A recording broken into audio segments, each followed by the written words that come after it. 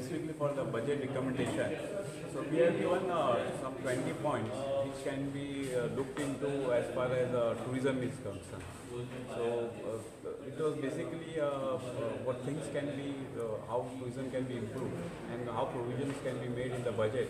So it was on the related to that meeting was called. Could you highlight some of the points? Uh, one second, huh?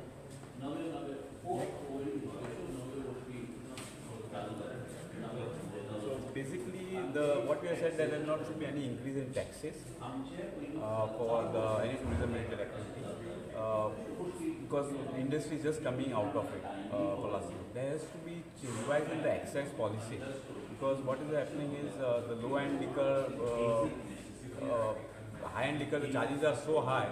With that, what is happening is the people are buying liquor by their own for events and everything. So government ultimately is losing out on the revenue. Third one was on the transport system. There has to be integrated transport system from all the cities in Goa, which was perfectly Sangha, so we wanted to, uh, that to look into it uh, properly. Then the large wheel, exhibition will खूप जाता and that creates a traffic uh, problem. So they can have uh, some uh, place which identified outskirts of Panjim, uh, one in north, one in south, and all exhibitions, everything can happen there, wherein it will help overall the revenue to the government. So exhibition should not be held. At exhibition should be held outside. There should be a uh, proper place uh, designated for. it. Basically, no, you're saying the exhibition should be held, but you find a venue where it will not be congested, like a highway or something like that, like the Gaurav Hall, where you have Shama Prasad Mukherjee, roads who are broad.